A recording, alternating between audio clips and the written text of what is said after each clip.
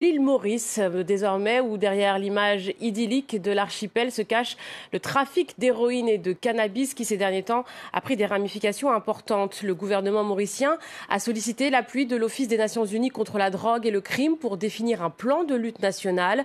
En près d'un an, la police du pays a effectué plus de 2000 arrestations et procédé à d'importantes saisies d'héroïne et de cannabis.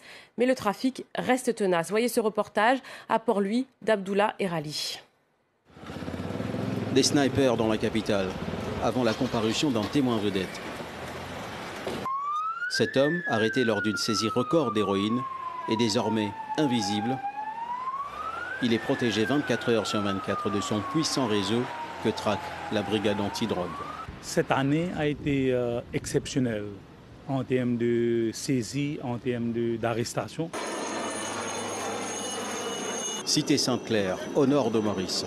Ces images ont été prises par la brigade antidrogue qui, face à l'ampleur du trafic, a musclé ses méthodes. Ici, dans la périphérie de Port-Louis, trois maisons ont été perquisitionnées ce matin. L'opération terminée, le trafic reprend.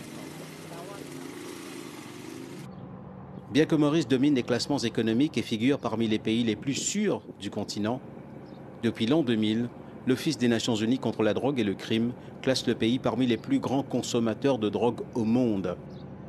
Mais leur disponibilité n'est pas la seule préoccupation des ONG.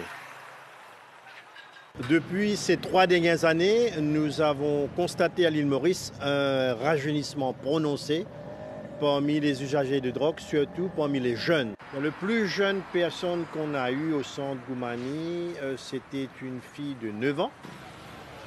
Devant l'urgence de la situation, le gouvernement a institué une commission d'enquête. En un an, il y a eu plus de 2000 arrestations, dont un ancien magistrat et des policiers. Au sein de là-dessous, on ne fait pas de distinction lorsqu'il s'agit d'arrestation. Que ce soit un policier, un fonctionnaire, un civil, le travail reste le même pour nous.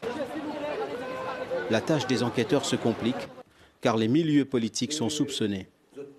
Embarrassé, le Premier ministre Pravin Jugnut promet d'être sans pitié et de s'expliquer devant la commission d'enquête sur la drogue.